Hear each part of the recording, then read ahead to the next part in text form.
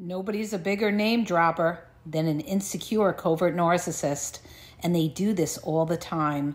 They'll love to talk about how they saw this celebrity, how they got a signature from that celebrity, that athlete.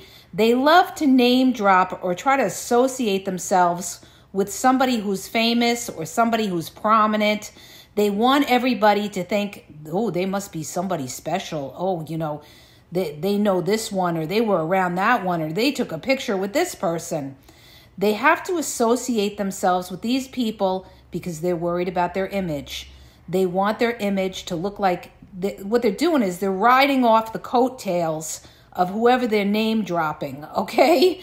So covert narcissists do this because they're very, very insecure. The, a lot of times they'll post pictures on social media if they take pictures with a celebrity or an athlete or a politician or something like that because they want people to think that they're important. They know these people.